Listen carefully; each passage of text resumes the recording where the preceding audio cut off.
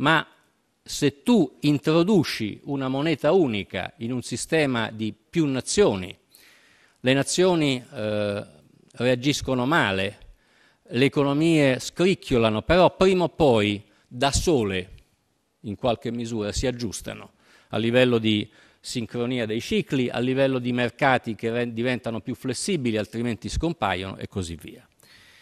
Questo si è rivelato essere purtroppo un grave errore ed è un errore che eh, ha lasciato i suoi eh, segni in tutti i paesi.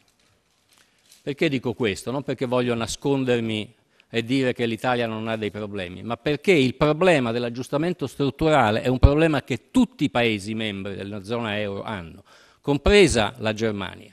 Mia, nelle mie funzioni precedenti, quando visitavo, quando visitavo la Germania e parlavo con i membri del governo e dell'amministrazione di quel Paese, con la mia vecchia funzione facevo notare che anche un paese forte o più forte degli altri come la Germania avesse dei problemi strutturali. E lo ripeto qui non perché voglio nascondere i problemi gravissimi del nostro paese, ma per dire che in Europa è maturo un ragionamento vero e non finto sui problemi della crescita.